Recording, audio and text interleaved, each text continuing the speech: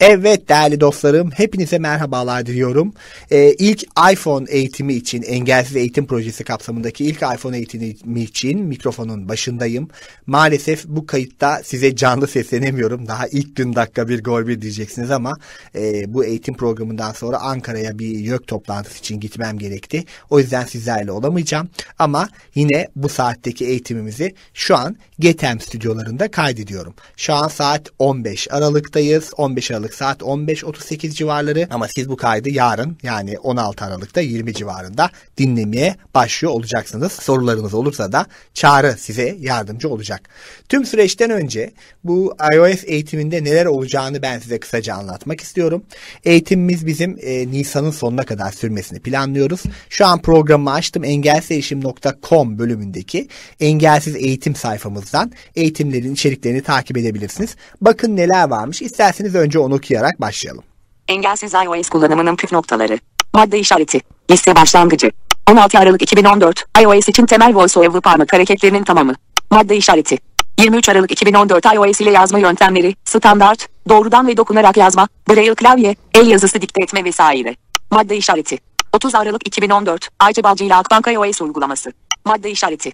6 Ocak 2015 tüm yönleriyle iPhone telefon uygulaması, hızlı arama, son aramalar, kişilerin yönetimi, birini arama, yanıtlama vesaire. Madde işareti. 13 Ocak 2015 tüm yönleriyle mesajlaşma sistemi, SMS, iMessage, sesli mesaj vesaire. Madde işareti. 20 Ocak 2015 temel iOS sistemlerinin çalışması, denetim merkezi, bildirim merkezi, uçak modu, yön kilidi, kablosuz ağ vesaire. Madde işareti. 27 Ocak 2015 Ayça Balcı ile İş Bankası iOS uygulaması. Madde işareti. 3 Şubat 2015 temel VoiceOver ayarları, dil, braille, sıkıştırılmış ses, VoiceOver hızlı açma kapama vesaire. Madde işareti. 10 Şubat 2015 mail uygulaması ve mail yönetimi. Madde işareti. 17 Şubat 2015 Safari kullanımı. Madde işareti. 24 Şubat 2015 Adem Ural ile Garanti Bankası iOS uygulaması anlatımı. Madde işareti. 3 Mart 2015 Saat uygulaması, saat, dünya saati alarm kurma ve düzenleme vesaire. Madde işareti. 10 Mart 2015 Takvim uygulaması. Madde işareti. 17 Mart 2015 Sesli Noter uygulaması ve iOS ile ses kaydı yapma, yapılan kayıtları bilgisayara atma. Madde işareti. 24 Mart 2015 App Store kullanımı. Madde işareti. 31 Mart 2015 Gamze Sofuoğlu ile Türksel Hayal Ortağım iOS uygulaması. Madde işareti.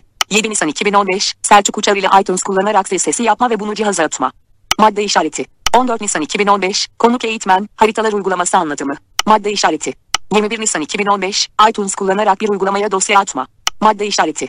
28 Nisan 2015 iOS obje tanıma ve kitap okuma uygulamaları, KNF Reader, Google Glass, TapTapS'ye vesaire. Gördüğünüz gibi e, eğitimimizde temel olarak Körcül iPhone rehberinde olacak şeylerimizi daha önce bizim Engelsiz iPhone grubunda hazırladığımız eğitimleri ele aldık. O kapsamda ilerledik. Burada temel parmak hareketlerine yani iPhone'un başlangıcından başlayacağız. iTunes kullanımına kadar ilerleyen bir yelpazede yapacağız. Her ayın sonunda dikkat ettiyseniz bir banka uygulamasını koymaya çalıştık Şubat ayına kadar. E, Garanti Bankası var, Halk Bankası var. Bankalarımızın e, bu şekilde kullanımlarını işleyeceğiz. Onun dışında tabii ki e, konuk eğitmenlerimiz olacak. E, Ayça konuğumuz olacak, Gamze konuğumuz olacak, Selçuk konuğumuz olacak. Belki başka konuklarımız olabilir, sürpriz konuklarımız. Yani beni bir moderatör gibi düşünün arkadaşlar. Eğitimlerin bazılarında hepinizden yardım alabilirim. Sizin de merak ettiğiniz bir konu, abi şuna da değin dediğiniz şeyler olursa elbette eğitimler içinde bunlara da değineceğiz. Aslında bu eğitimleri kısa eğitimler olarak düşünün. 40 dakikalık paketler halinde olacak. Yani çok uzun uzun değil, sizi sıkan değil. Hızlandırılmış bir eğitim şeklinde olacak. Bu e, genel, biz buna syllabus diyoruz. Yani ders çizelgemizi verdikten sonra eğitimimize başlayalım dilerseniz arkadaşlar. Bugünkü konumuz ne demiştik? Bugünkü konumuz iPhone'da temel parmak hareketleri. Aslında iPhone'u genel olarak tanımaktan bahsedeceğim. Sayfa 1 çizgi 9. Evet, şu an e, sayfamızın içindeyim. Şimdi, yukarı veya aşağı şimdi iTunes parmak hareketlerimize başlamadan önce önce şu tuşları bir kilitleyeyim. Birkaç şeyi önceden söyleyeyim. iPhone 6 var elimde arkadaşlar. iPhone 6'nın içinde neler var? Onu iPhone 6'nın yapısını şöyle bir göz önünde bulundurmak istiyorum bilmeyenler için. iPhone 6'nın tepesinde diğer telefonların 6 öncesi iPhone'ların aksine herhangi bir şey yok. Halbuki iPhone 5'te sağ üst köşede bir power düğmesi, güç düğmesi vardır. Ee, hatta iPhone 4S'ler ve gerisinde de kulaklık girişi de sol üst köşededir. Ama iPhone 6'larda tepe boş. Sol tarafa geldiğimde Tüm iPhone'larda aynı olan yapıda korunuyor. En üstte bir e, sola sağa itilen bir düğme var. Şöyle iteyim. Ses kapandı. Hafif bir titreme. Açtım. Onun yanında iki tane basılabilen tuş var. Biri ses açıyor, biri kapıyor. Soldan aşağı doğru indiğim zaman sol alt köşede e, bunlar hep aynı diğer telefonlarda olduğu gibi bir tane kulaklık girişimiz mevcut. Buraya kulaklık takabiliyoruz. E, yine onun ortasından devam ettiğimizde bir tane USB şarj alıcımız mevcut. Buraya telefonun şarjı takılıyor. Ve sağ tarafta da sanırım ses çıkışı olan bölüm var ama ondan çok emin değilim. Ekranın sağ tarafına geldiğimde sağ tarafta e, bizi tek karşılayan düğme sağ köşedeki sağ üst köşeye yakın olan düğme güç düğmesi. Güç düğmesi tepeden aşağı taşınmış. Ama bu sizin iPhone 5 ve 5S'lerde bu güç düğmesi telefonun üst tarafında yer alacak. Onlar da genelde sağ tarafta bildiğim kadarıyla bir düğme yer almıyor. Bu şekilde iPhone'u inceledikten sonra parmak hareketlerimize başlayalım. İlk iPhone alan arkadaşlarımız için özellikle bu önemli bir eğitim. iPhone'u elinize aldınız. Öncelikle korkmayın arkadaşlar. iPhone'u elinize aldığında ne oluyor falan diye korkmayın. Bir baktığınızda şöyle bir keşfetmeye çalışın. Öncelikle güç düğmesine basalım. 15.45. Gördüğünüz gibi saati söyledi. Şimdi ekranın herhangi bir yerine parmağımla dokunuyorum. Tek parmak hareketleriyle başlayalım. 15.45. Saati gördüm. Ki- Kilidi aç. Düğme. Gibi ekranda parmağımın dokunduğu yerleri okuduğunu görüyorsunuz. Yani herhangi bir şey yapmanıza gerekmiyor. Parmağınızı ekran Ekran üzerinde kilidi. dolaştırdığınız zaman okuyor bu tek Kilidi parmak aç. hareketinin ilk şey. Yani dokunduğu şeyi okur. Kamerayı aç. Kilidi aç. Şimdi Düğme. tekrar mesela Kilidi aç. şuradan açalım. Şimdi Navigon. daha fazla şey görüyoruz. Şimdi Açmak ekranda tekrar dokunu. parmağımı dokunuyorum. Sayfa 1'e ilk çizgi dok. Sosyal klasörü. Kamera. Bitoksi. Navigon. Mesajlar. 111 o- takvim. 15 Aralık Pazar. Sağlık. Açmak için iTunes Store.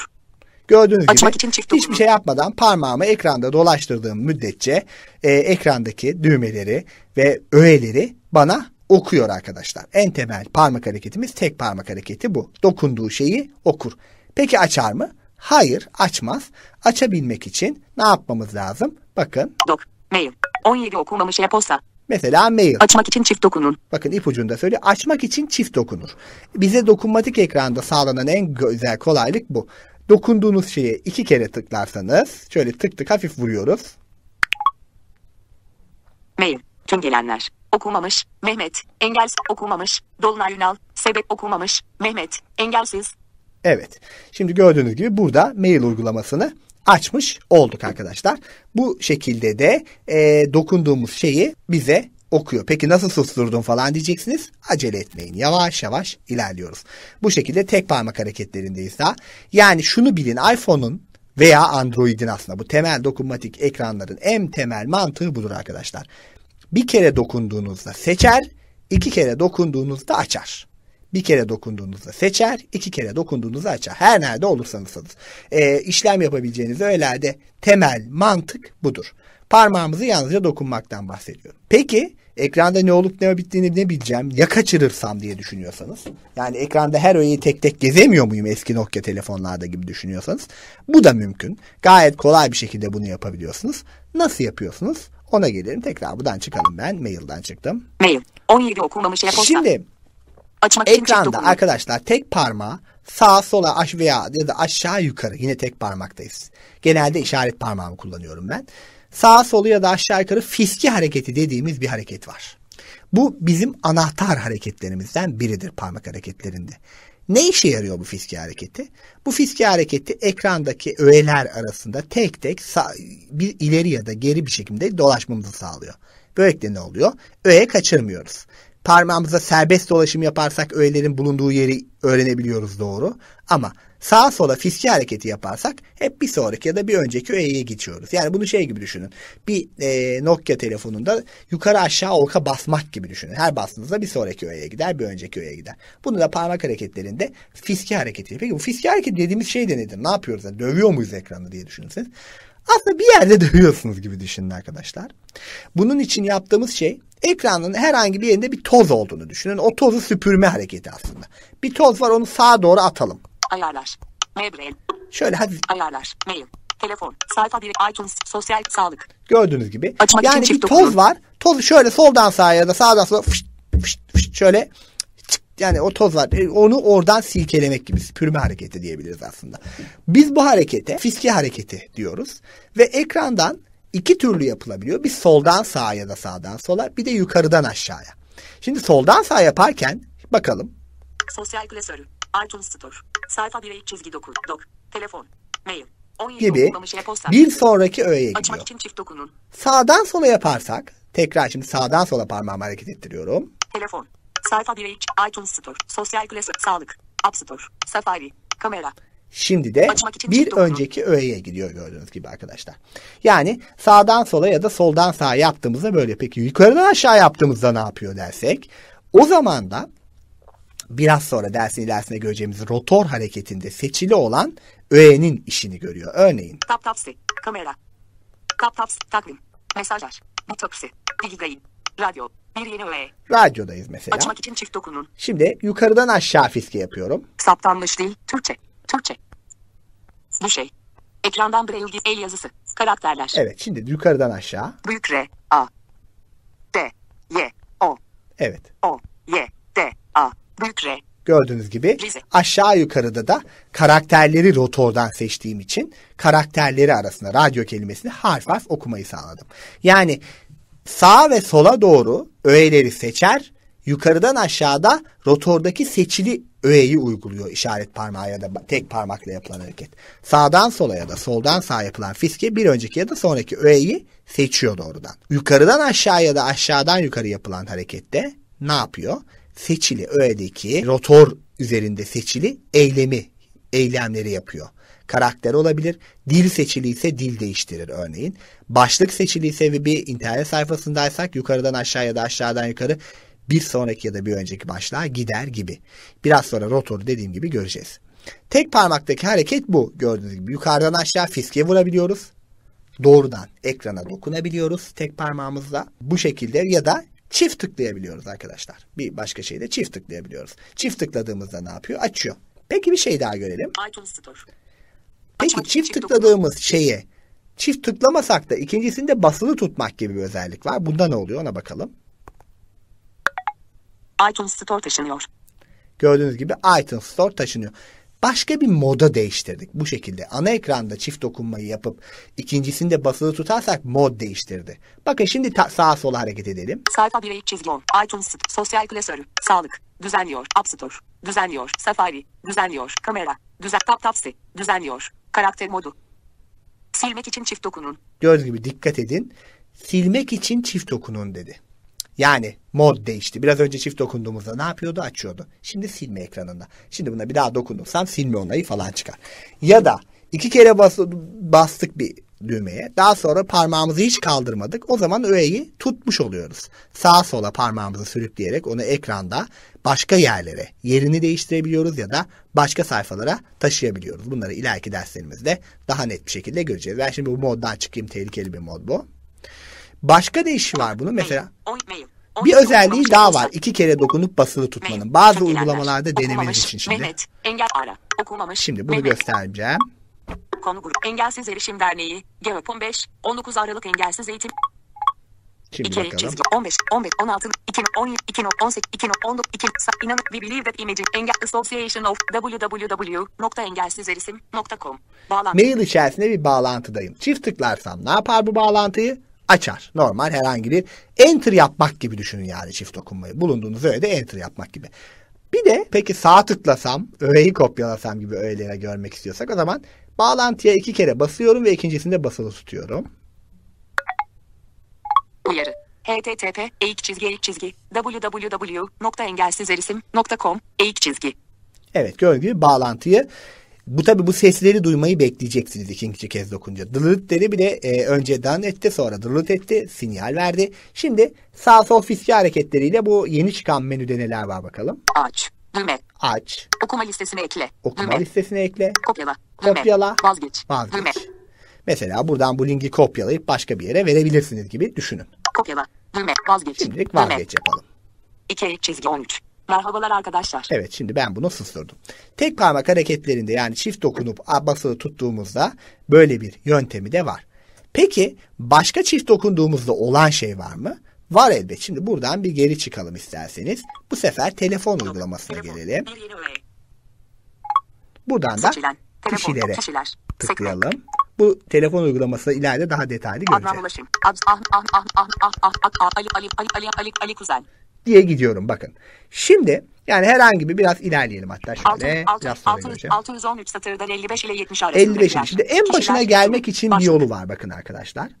Başak güçlü. Şimdi bakalım. Tekrar şimdi durum çubuğu dediğimiz ekranın en üstündeki yere dokunuyorum. Böyle alo dediğim yere. 15 kişiler. 15 54.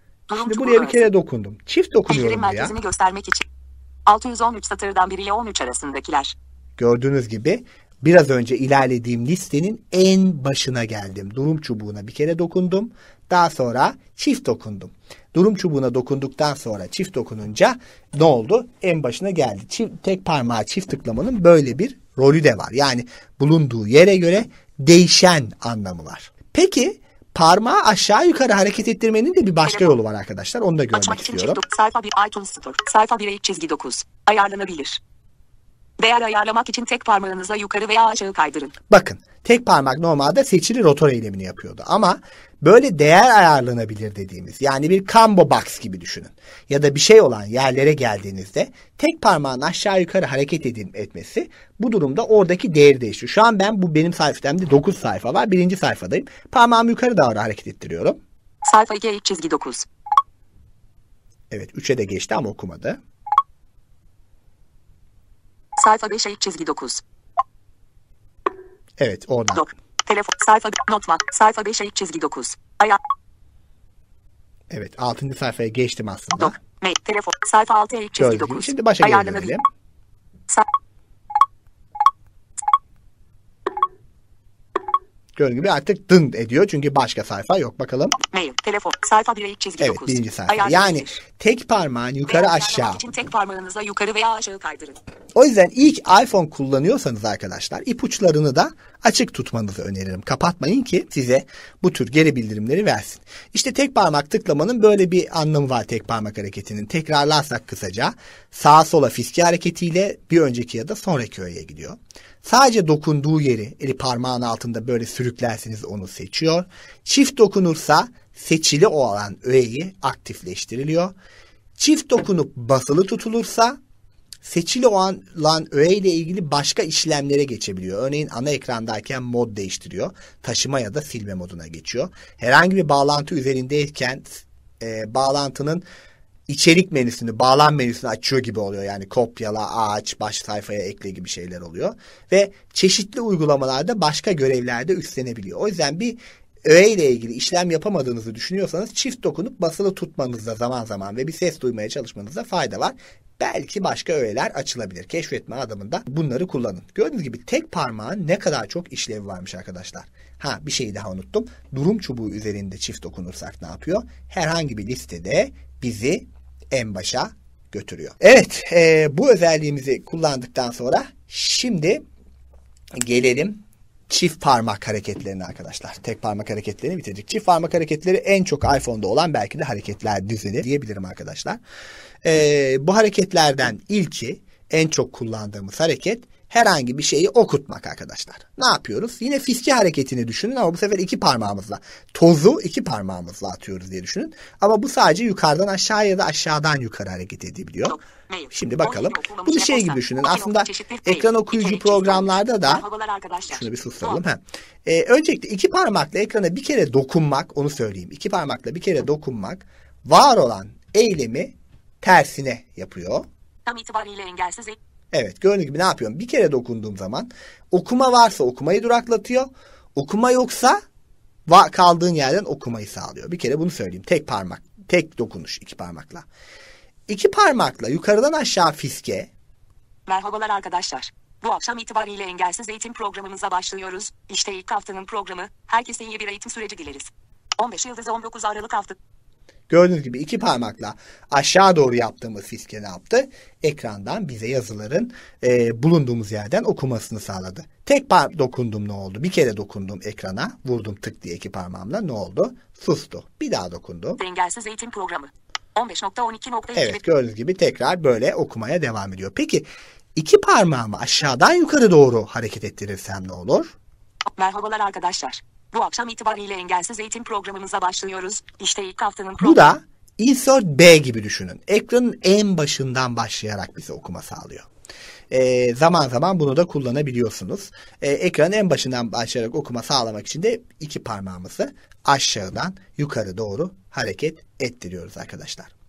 Peki bu kadarla mı sınırlı? Bir kere dokunduğumuzda ekrana ne yapıyor dedik? Ekrandaki var olunu susturuyor. Bir daha dokunursak okumayı yeniden başlatıyor. Bunu da tekrar belirtelim. Peki devam edelim arkadaşlar. Sonra ne oluyor? İki parmağımızla ekrana iki kere dokunmak iPhone'un en anahtar olaylarından biri. O da genellikle var olan aktiviteleri bizim için. Mesela bir müziği başlatıp duraklatmak, telefonu açmak ya da kapatmak gibi işlemleri yapıyor. Bunu hemen hatta deneyelim. Şimdi telefon uygulamasına Telefon. giriyorum. Açmak için Telefonu seçtim. Ha Telefon. şey diyeceksiniz. Nereden hemen telefonu buldun diyeceksiniz mesela. Onu sorabilirsiniz. Biliyorum ki ben sol alt köşede oluyor telefon uygulaması. Artık kullanı kullanı. O yüzden hep fiski hareketi yapmamanızı öneririm. Zaman zaman parmağınızı ekranda sürükleyerek öğelerin nerede olduğuna göz atın. Bu size ne avantaj sağlıyor? Düşünün eski Nokia telefonları. düşün. Men- mesela telefon uygulaması bulmak için menüye basacaksın. 8 kere aşağı oka basacaksın sonra ortaya basacaksın mesela. Dokunmatik ekranın en büyük avantajı bu işte. Böyle bir şeye gerek yok. Dokunmatik ekranda eğer öğenin yerini biliyorsanız onun yanına ya da yakınına dokunduğunuz zaman ona yakın bir yerde oluyorsunuz ve çok daha hızlı bir şekilde ona gelme şansınız oluyor. Bu avantajı kullanmak için zaman zaman tek parmağınızı ekranda sürükleyerek öğelerin yerini öğrenin. Şimdi ben biliyorum ki de sol alt köşede hızlı arama var. Hızlı arama. Sekme. Şimdi Berri Gümüş. Can Adem Olgun. Annem. Hande Hane. Levent Açılan. evet Levent'e şimdi bir alo diyelim. Onunla biz önceden konuşmuştuk.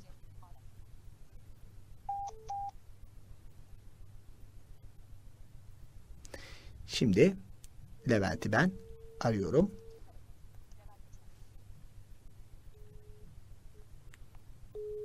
Evet. Levent Açılan. Kullanıcı Levent şimdi beni meşgule düşürdü. O beni geri arayacak biraz sonra. Ve telefonu iki parmakla çift tıklayarak nasıl açacağımı görecek. Levent Açılan. Gördüğünüz gibi et. beni Düğme. arıyor. Kabul etti. Ama ben iki parmağımla çift tıklıyorum. Alo.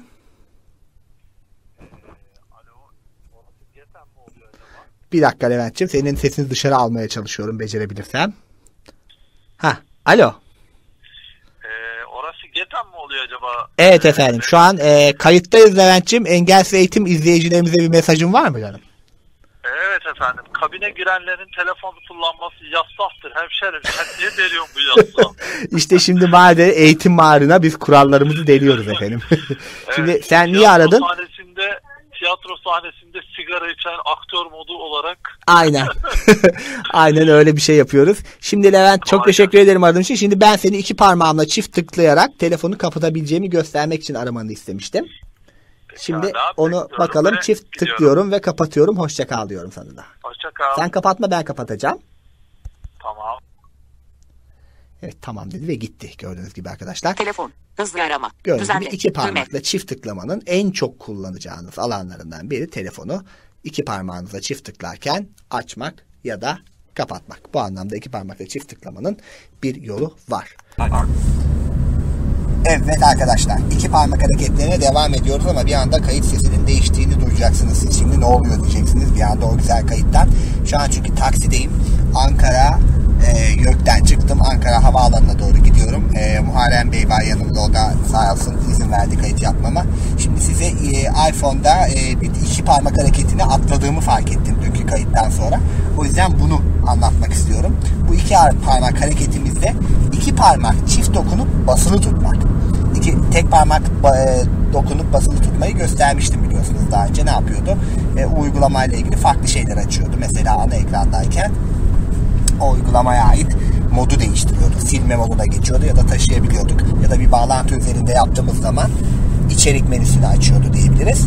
Peki iki parmak çift tıkladığımızda ne yapıyor? Bu da etiketsiz olan düğmeleri etiketlememizi sağlıyor.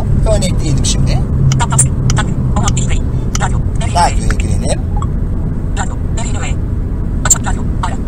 Şimdi bir radyoyu açtık. Bakalım şimdi çalmaya başlayacak radyomuz. ETV Radyo. E Radyo. Radyo. NTV Radyo. ETV Radyo. Şimdi bunları ben daha önce etiketlediğim radyolarda. Ee, radyo şu an çalmaya başlamadı ama çalması da çok önemli değil zaten. Burada benim derdim şey e, bu radyoları ben daha önce etiketlemiştim. Şimdi bu radyonun olduğu yerde sağ alt köşeye basıyorum.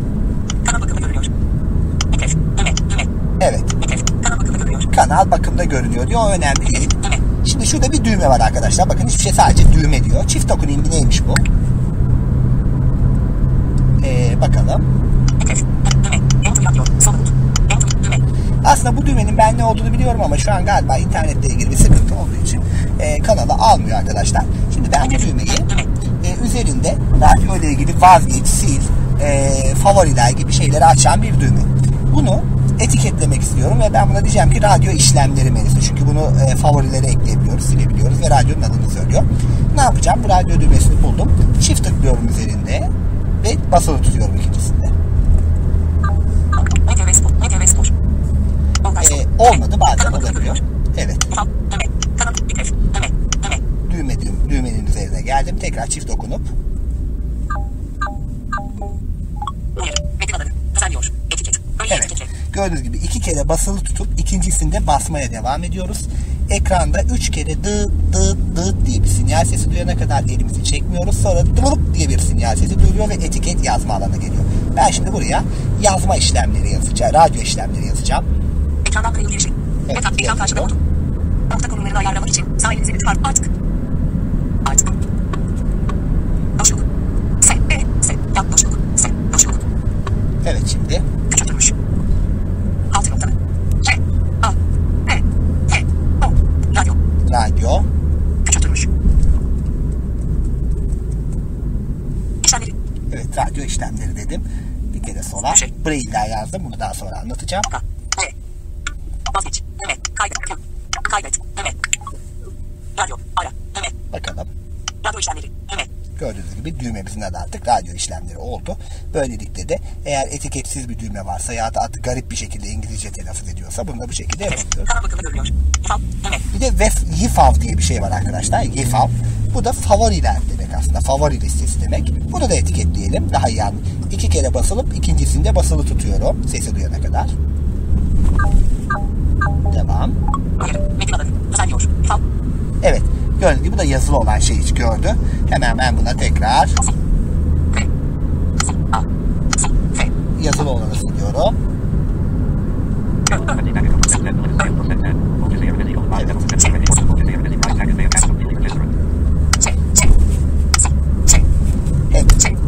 Bakın sil düğmesine basılı tutarsam da. Evet sil düğmesinin üzerine K. L.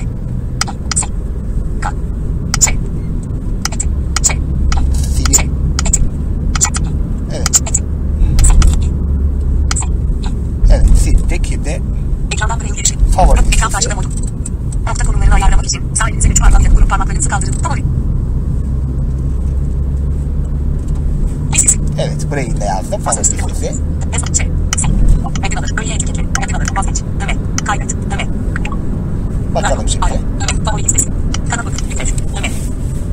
Radyo işlemleri. Düğme. Gördüğünüz gibi iki düğmeyi de bu şekilde işte etkilemiş oldum. Yani iki parmak çift dokunup ikincisinde basılı tuttuğunuzda hangi öğe üzerinde olursanız olun onun adını değiştirebiliyorsunuz. Yeni bir etiket verebiliyorsunuz. Bu şekilde düğmeyi etiketlemiş oluyoruz diyelim. Telefon. başka peki iki parmakla üç kere tıklarsak bir 86 şey oluyor mu diye merak ettiniz değil mi arkadaşlar? Bakalım.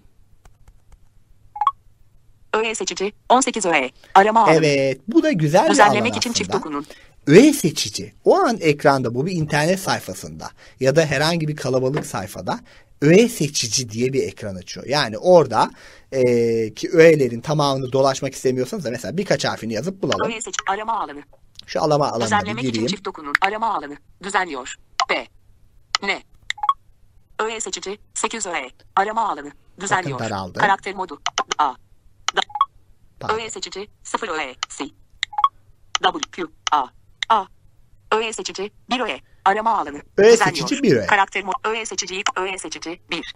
Arama alanı. Navigon. Gördüğünüz gibi Ekranın üstü. Navigon olduğunu ve ekranın üstünde olduğunu gösterdi. Navigon.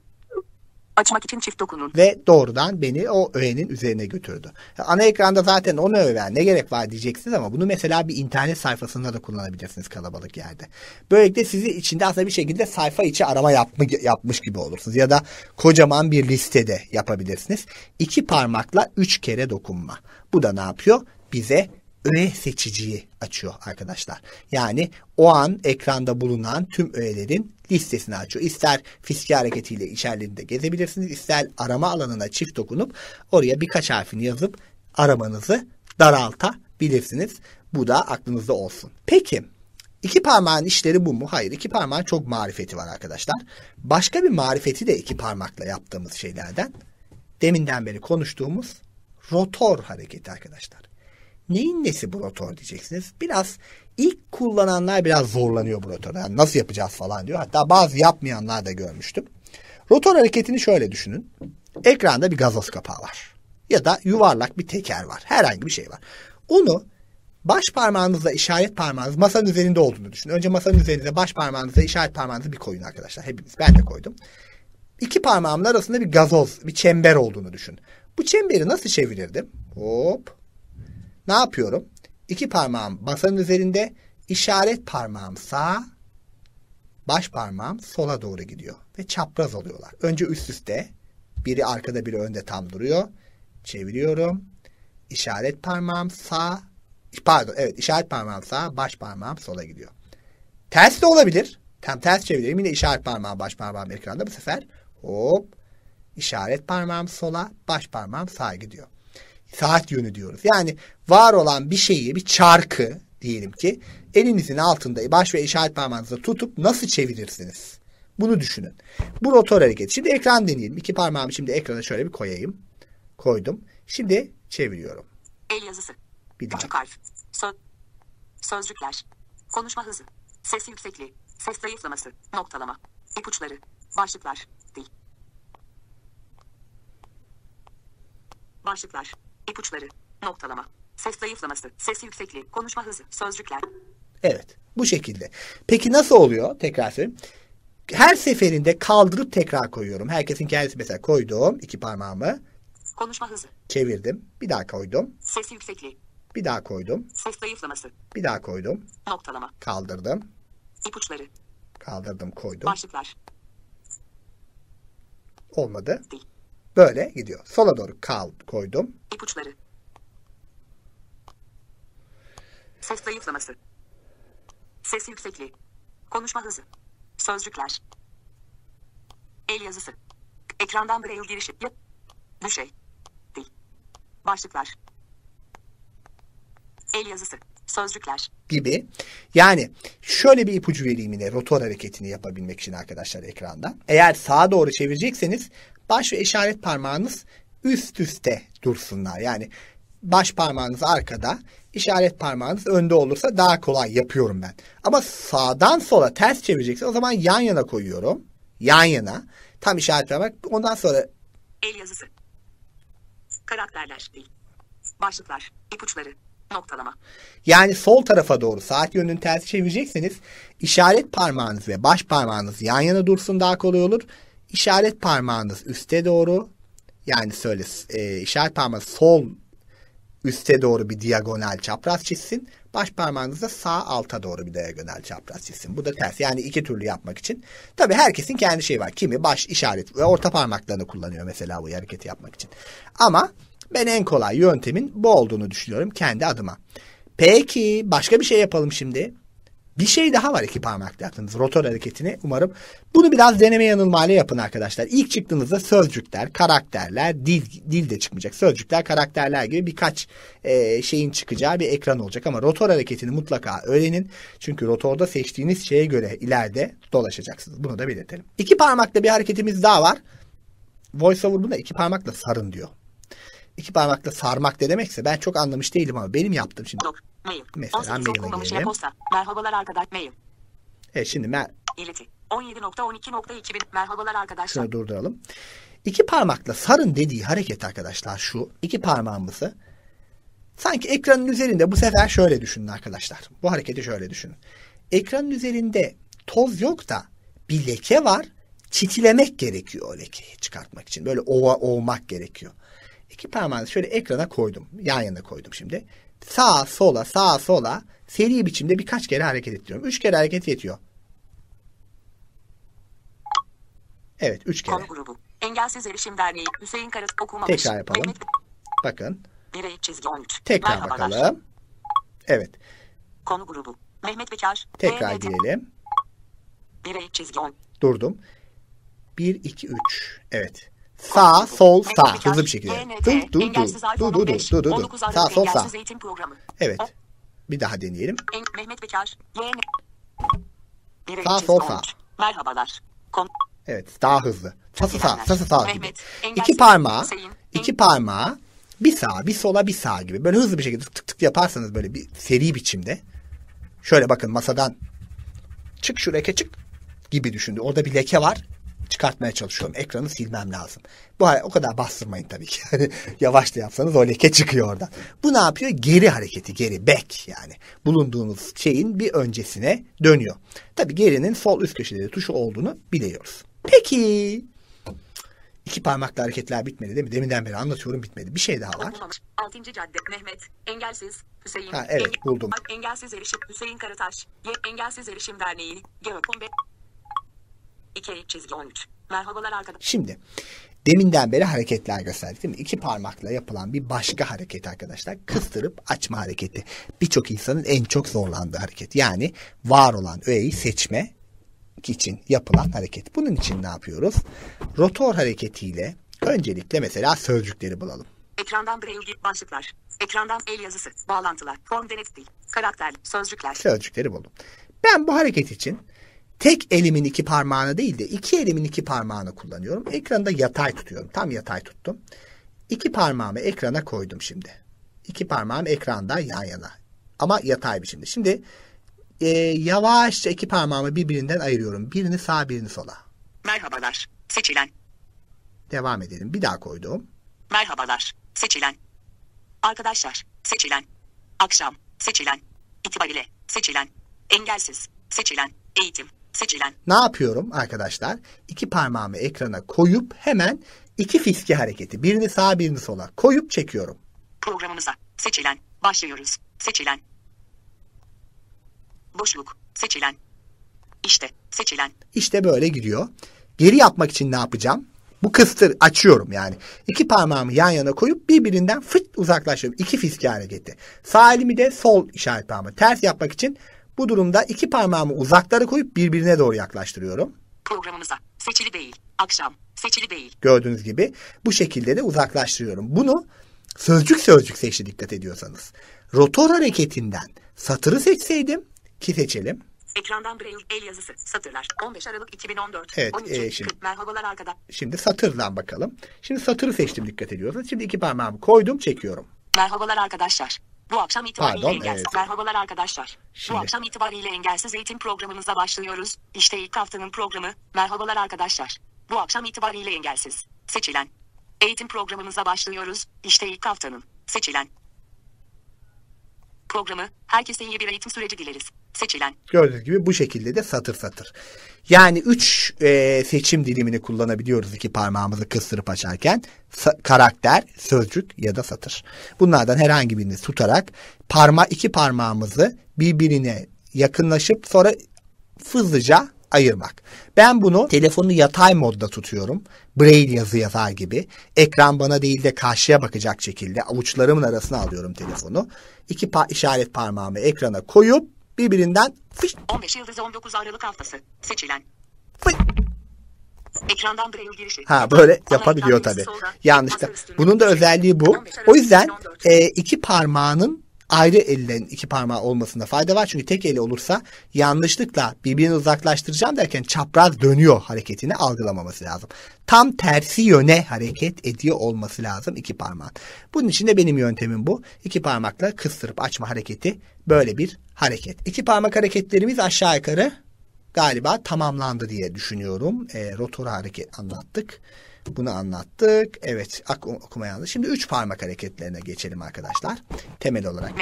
Yeni iki parmağımız. Üç parmağımızla da arkadaşlar çeşitli hareketlerimiz var. Üç parmağımızı sağdan sola doğru hareket ettirirsek mesela. Çocukta birinci konumda. Safari. Sayfa 2 eğik çizgi. Sayfa 3 eğik. Sayfa 4 eğik çizgi. dok- Gördüğünüz gibi ekrandaki için sayfalar arasında Sayfa 3 geziyor. eğik çizgi. dok- Sayfa 2 eğik. Sayfa 1 eğik çizgi. Navigon. Üç parmağımızı sağdan için sola hareket ettirmekten bahsediyorum arkadaşlar. Ne yapıyor? Ekrandaki sayfalar arasında geçiyor ya da sol sağda. Ben bu hareketi kendi telefonda bakın yan yana koyduğum iki parmağımı ekran dikey. Sayfa 2 eğik çizgi. Şimdi yaptım ama Sayfa 4 eğik çizgi. yapamazsanız eğer Açmak ekran bazen parmaklar sığmıyor ben şöyle yapıyorum. Ekranı şöyle elimi yatay olarak çeviriyorum. Ee, parmaklarım işaret parmağım üste gelecek şekilde orta parmağım onun altına yüzük parmağım da onun altına gelecek şekilde tutuyorum. Sol elimde iPhone dimdik konumda. Ekran bana sağ elimin parmaklarına bakıyor. Sayfa 3 eğik çizgi. Sayfa 2 Sayfa 1 eğik çizgi. dokuz. Böyle yapıyorum. Yani üç parmağım ekranda yan yana değil de alt alta duracak şekilde koyup çektiğimde ben daha rahat hareket, hareket ediyorum ama tabii bu da kişiye kalmış bir şey. Peki üç parmağı yukarıdan aşağı ya da aşağıdan yukarı yaparsak ne oluyor? Ona bakalım. Kişiler. Bunu Sekme, kişiler de kişiler, gösterelim. Kişiler. Sekme. 3 eğik çizgi 5. Absu. Adnan Ulaşım. Şimdi bakın burada bir sürü liste var.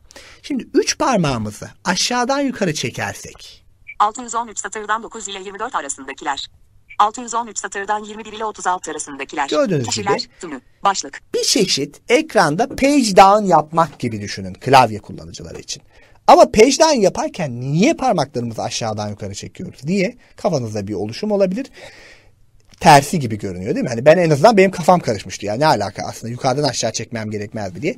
Bunu şöyle düşünün. Aşağıdan yukarı çektiğimiz zaman listenin aşağısındakileri yukarı doğru görünecek hizaya taşıyoruz. Yani hakikaten çekiyorsunuz. Gel buraya gel gel gel hop. 613 satırdan Gel, 32 gel, ile 613 satırdan 44 ile 59 arasındakiler. Şimdi gördüğünüz gibi 44 59. Şimdi yukarıyı yukarıyı aşağı doğru çekin. Sen git aşağı diyorum. 613 satırdan 32 ile 47 arası. 613 satırdan 21 ile 36 arasındakiler. Gördüğünüz gibi burada da 3 parmağı aşağı çektiğimizde de yukarı doğru yani listenin yukarıki kısımlarını listeliyor. Bu uzun listelerde kişiler listesi gibi radyo kanalları gibi çok öğeli sayfalarda ya da çok sayfalı ekranlarda ekranda daha hızlı ilerlememizi sağlıyor. Daha aşağılara inmek istiyorsak 3 parmağımızı aşağıdan yukarı hareket ettiriyoruz. Çünkü aşağıyı yukarı doğru görünecek alana çekiyoruz. Daha yukarıyı seçmek istiyorsak da bu durumda yukarılara çıkmak istiyorsak bu sefer yukarı alanı Üç parmağımızı aşağı doğru itiyoruz ve var olan aşağı kayıyor. Yukarıdaki daha yukarıdaki şeyler görünür hale geliyor.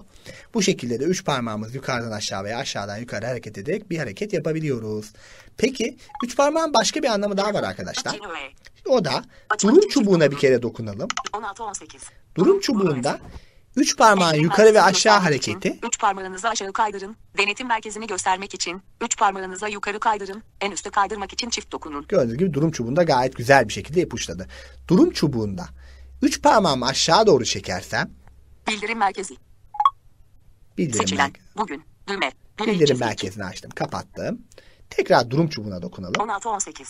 Durum çubuğu Durum çubuğunda Bildirim ekranda yukarı doğru için hareketi üç çekersem aşağı Uçak modu. Kapalı. gördüğünüz gibi bu Ayarı durumda da değiştirmek için e, denetim merkezi dediğimiz alanı açtık. Yani durum çubuğunda 3 parmağı yukarı aşağı hareket daha farklı bir görev üstleniyor.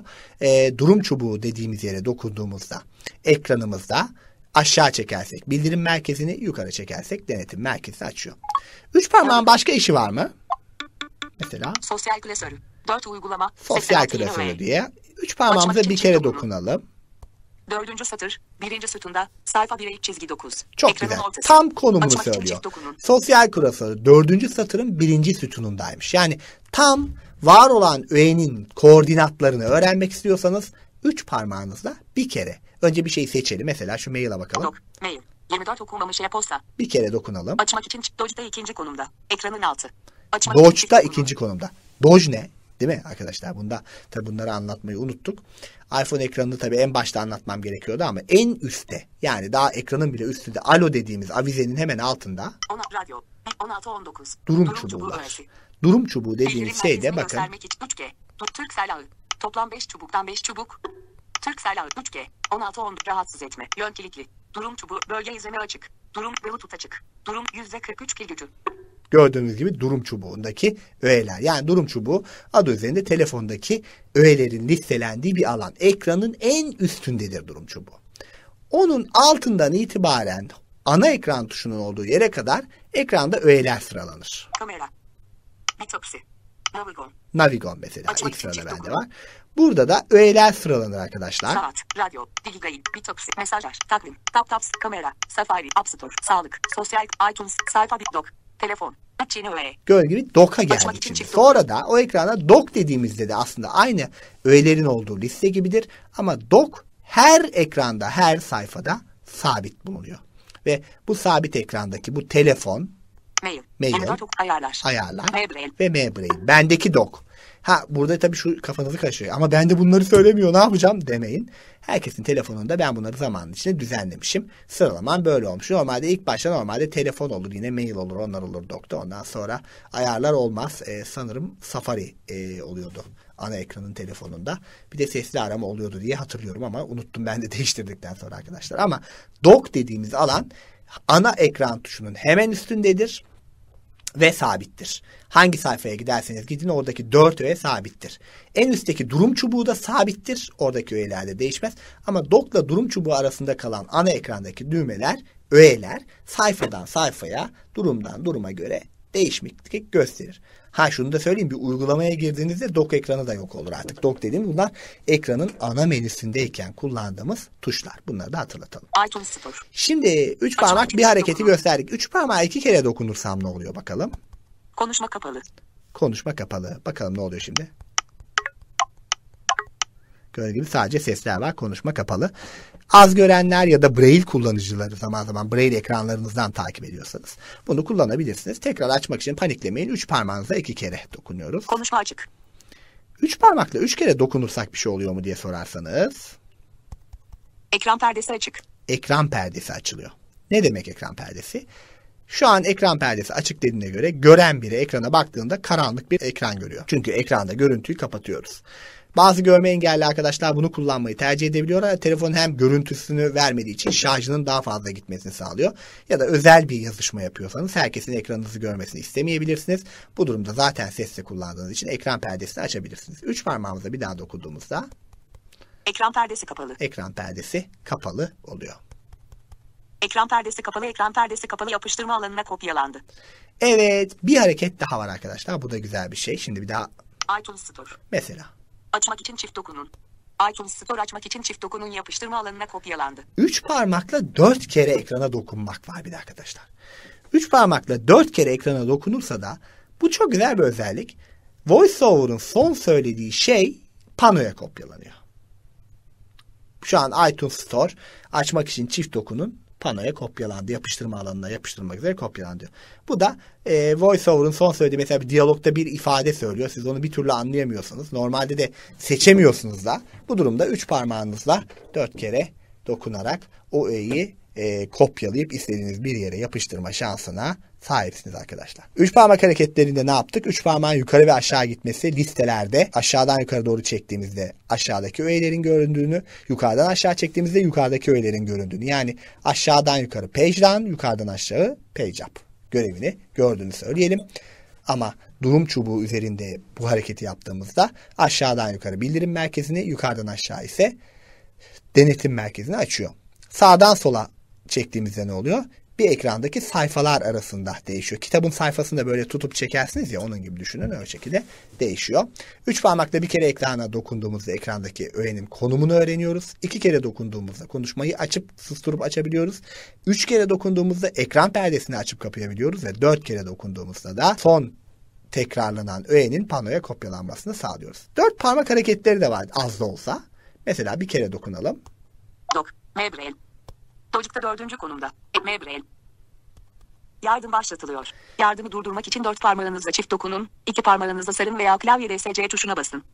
Evet yardım. Dört parmakla iki kere ekrana dokunursam arkadaşlar ekrandaki yardım voiceover mesela şimdi sağa doğru iteyim. Sağ itin. Sonraki öğeye gider. VoiceOver yardımını açıyor. Eğer bu parmak hareketleriyle ilgili yardım istiyorsanız ana ekranda dört kere parmağınızla dokunun. Şimdi bir daha çift dokunun dedi basalım. Dört parmağınızla çift dokunun. VoiceOver yardımı başlat. Yardım durduruluyor. Evet gördüğünüz gibi bu halde bunu söylüyor. Dört parmakla çift dokunarak VoiceOver yardımını başlatabilir ve parmak hareketlerini öğrenebilirsiniz ya da bir daha dokunursanız durdurabilirsiniz. Bu da dört parmak hareketleri. iPad'de de bir iki tane dört parmak hareketi var sanırım ama onun şu an aklımızda değil. O da e, sanırım açık uygulamalar arasında geçmeyi sağlıyor. Bir de Mail. 26 okunmamış yap. Dojik'te ikinci konumda. Ekranın altı. Açmak için çift dokunun. Mebrel. Açmak için Mebrel. Evet. Mebrel. Mebrel. Dört parmakla ekranın en altına çift dokunmayı başarırsanız da biraz önce durum çubuğuna çift dokunduğunuzda ekranın en üstüne gittiğini söylemiştik. Dört parmağınızla ekranın en altına dokunursanız da imlecin ekranın en sonuna gelmesini sağlarsınız. Tıpkı şu an olduğu gibi. Telefon. Bak ve- bastım. Aç. Mebrel. Dojik'te dördüncü konumda. Dojik'te dördüncü. Dojik'te dört. Dojik'te dördüncü konumda. Ekranın alt. Dojik'te dördüncü konumda. Mebrel. Mebrel. Evet. Ama bu biraz zor bir hareket gerçekten. Ben beceremiyorum bir türlü. Dört parmakla ekranın altına dokunursanız bir kere o zaman ekranın en sonuna gidersiniz ama bu biraz daha zor bir hareket. Parmak hareketleri VoiceOver'da böyle arkadaşlar. Aşağı yukarı bütün parmak hareketlerinin üzerinden geçtiğimi düşünüyorum. Bu parmak hareketlerini siz de kendi uygulamalarınızda deneyimleyerek daha fazla bir şey yapmış olacaksınız diyorum. Bugünkü eğitimimiz bu kadar. Çağrı sorularınız olursa bu eğitimle ilgili yanıtlayacaktır. Hepinize katıldığınız için çok teşekkür ediyorum.